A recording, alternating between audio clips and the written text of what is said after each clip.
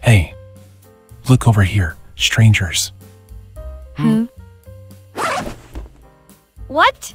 No! Hmm? Don't look at him, Leon!